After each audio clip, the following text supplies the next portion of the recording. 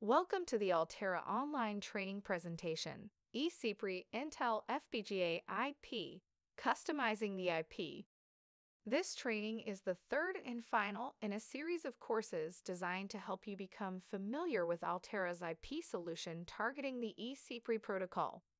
By the end of this course, you will be able to customize the eCPRI IP for your specific fronthaul application. You will also be able to generate a complete design example based on your customization to perform various tests with the IP. We will begin with a section on how to configure the eCPRI IP. Here we'll talk about the parameters that make up the IP core. Then we will finish with a section on the steps to generating the design example and how you can run it in simulation and in hardware. This training assumes that you have a good understanding of the eCPRI protocol, as we will not spend much time defining its details. The course also assumes you are familiar with the Quartus Prime Pro software tool suite and its design flow when targeting Altera FPGAs. And while not absolutely necessary, a good understanding of Altera FPGA architecture is helpful. If you have further questions on the 3GPP or eCPRI-Spec. here are links to some resources. This includes links to the eCPRI IP user guide and the design example user guide. If you need to download and license the eCPRI IP, you can find information on this in the IP user guide. So let's look at how to configure the IP. The eCPRI IP parameter editor is the tool within the Quartus software that lets you customize an instance for your design using all of the configurable options available on the IP. Please note that the eCPRI IP core does not appear automatically in the Quartus software IP catalog. It is an extended IP core that requires a separate installation. See the eCPRI IP user guide for instructions on how to install the IP. After installation, the parameter editor is found in the IP catalog in both the Quartus Prime Pro software and Platform Designer. Locate it under Interface Protocols and then eCPRI, or you can just type eCPRI in the search field at the top. Double-click to open the parameter editor. All configurable options currently available for customizing your IP instance are found on the General tab in the GUI. At the top, select the transceiver tile to which you plan to connect IP. Of course, this option is unavailable if you target an Altera device family that does not use tiles. Next, you can see the primary bus width. This is fixed at 64 bits. Further down, you can indicate the measurement type for eCPRI, message 5 delay measurement, either off, one step or two step. Below the FIFO depth settings is an option to enable advanced mapping mode. Enabled, it allows mapping of MAC addresses and VLAN tags to the eCPRI physical channel or PCID.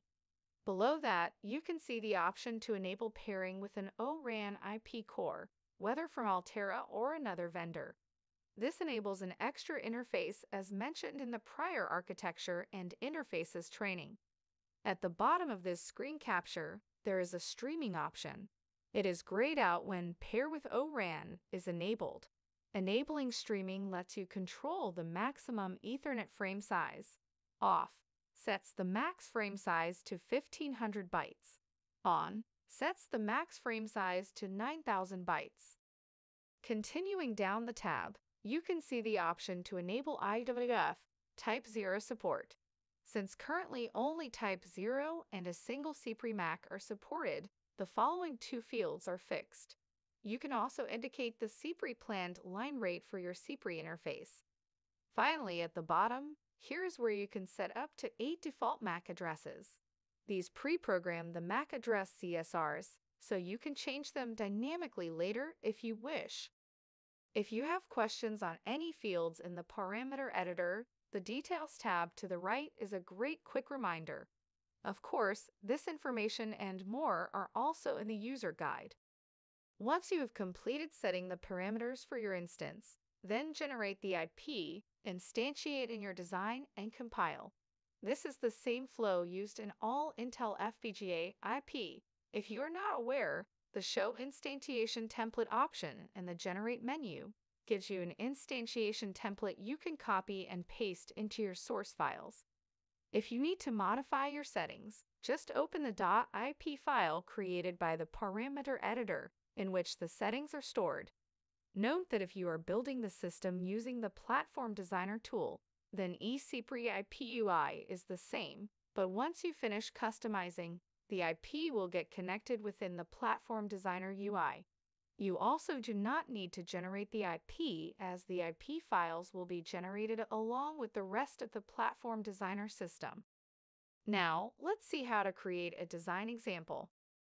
The eCPRI IP parameter editor can create a complete design example for you. The design example is created using the very parameters that you set in the editor window. It provides a great example of how the IP core can be connected in your own design.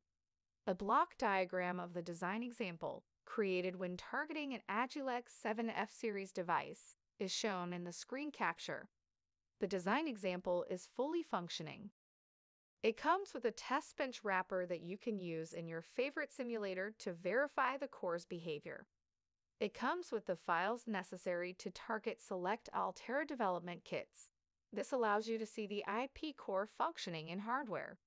Using the compiled results of the design example, you can research helpful information on IP resource usage and performance. Looking at the diagram, let's go over a few features we see here. The eCPRI IP core is shown in gold. The eTile hard IP for Ethernet to which it connects is shown to its right in yellow. The test wrapper block, shown in light purple in the middle, contains test pattern generation logic. An IWF Type 0 block in gold and a CPRI IP block in turquoise are shown on the left side of the diagram. Of course, they are only added if IWF Type 0 support is enabled during parameterization. Outside of those, we can see a PTP-PLL, an eCPRI IO-PLL, and additional subsystems, bridges, and interface logic needed for design example operation.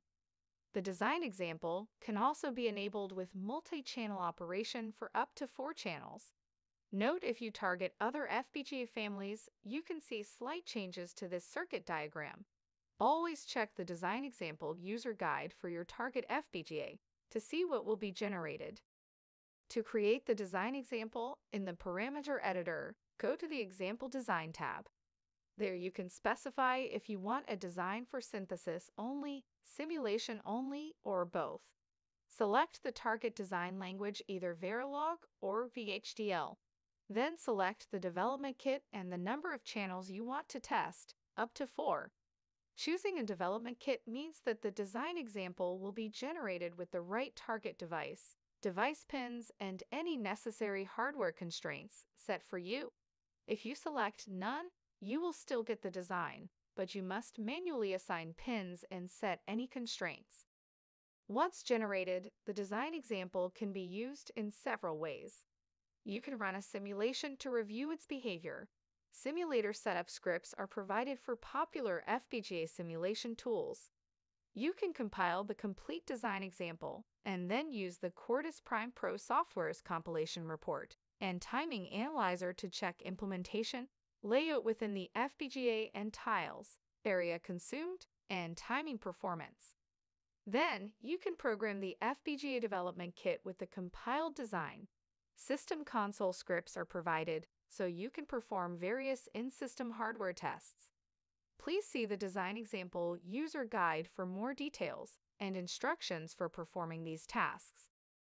This concludes our look at customizing the eCPRI IP after viewing this training, you should be able to use the Parameter Editor tool to customize your implementation of the eCPRI IP. You should also be able to generate an example design to test your customization in simulation and hardware and view the results of its compilation, all of which greatly accelerate the development of your own application when using this IP. The Altera training team is always looking to improve our material to do this, a survey will be emailed to your registration email address. We welcome any feedback you may have.